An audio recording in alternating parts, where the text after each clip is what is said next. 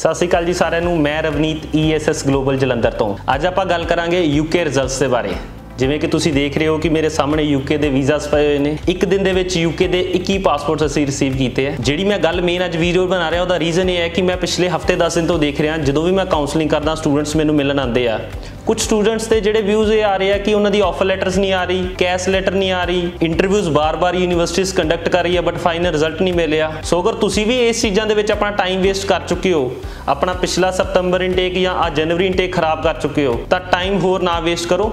ਅੱਜ ਹੀ ESS global ਨਾਲ ਕੰਟੈਕਟ ਕਰੋ ਤੇ ਆਪਣਾ ਯੂਕੇ ਦਾ ਮਈ ਇਨਟੇਕ ਲਈ ਵੀਜ਼ਾ ਅਪਲਾਈ ਕਰੋ। ਜਿਹਦਾ ਰਿਜ਼ਲਟ ਅਸੀਂ ਤੁਹਾਨੂੰ maximum to maximum 50 to 60 days from offer letter from cash letter including visa results ਦੇਾਂਗੇ ਕਿਉਂ? UK ਦਾ ਜਿਹੜਾ ਸਾਡਾ ਰਿਜ਼ਲਟ ਆ, ਉਹ 100% ਸਕਸੈਸ ਰੇਟ ਹੈ ਫॉर ਜਨਵਰੀ ਇਨਟੇਕ ਅਗਰ ਕੁਝ ਬੱਚੇ ਅਜੇ ਵੀ ਕਨਫਿਊਜ਼ ਨੇ UK ਵਿਦਆਊਟ ਆਇਲਸ ਨੂੰ ਲੈ ਕੇ ਯੂਕੇ ਘੱਟ ਪਰਸੈਂਟੇਜ ਨੂੰ ਲੈ ਕੇ, ਤੇ ਮੈਂ ਸਾਰੇ ਸਟੂਡੈਂਟਸ ਨੂੰ ਐਡਰੈਸ ਕਰਨਾ ਚਾਹਨਾ ਕਿ UK ਦਾ ਅਗਰ ਮਈ ਇਨਟੇਕ ਲਈ ਵੀਜ਼ਾ ਅਪਲਾਈ ਕਰਨਾ ਹੈ 6 not less than 5.5 ਬੈਂਡ ਚਾਹੀਦੇ ਨੇ ਤੁਹਾਡੇ। ਪਰਸੈਂਟੇਜ ਜਿਹੜੀ ਆ 12th ਪਾਸ ਆਊਟ ਬੱਚਾ ਹੈ ਤੇ 60% ਮਾਰਕਸ ਚਾਹੀਦੇ ਨੇ ਮਿਨੀਮਮ ਗ੍ਰੈਜੂਏਟ ਸਟੂਡੈਂਟਸ ਹੈ ਤੇ 45% ਮਾਰਕਸ ਚਾਹੀਦੇ ਨੇ ਮਿਨੀਮਮ ਬੱਚਾ ਆਪਣਾ ਮਈ ਇਨਟੇਕ ਦੇ ਲਈ UK ਦਾ ਵੀਜ਼ਾ ਅਪਲਾਈ ਕਰ ਸਕਦਾ। ਫੰਡਸ ਦਾ ਸਾਰਿਆਂ ਨੂੰ ਪਤਾ 28 ਦਿਨ ਪੁਰਾਣੇ ਫੰਡਸ ਚਾਹੀਦੇ ਨੇ।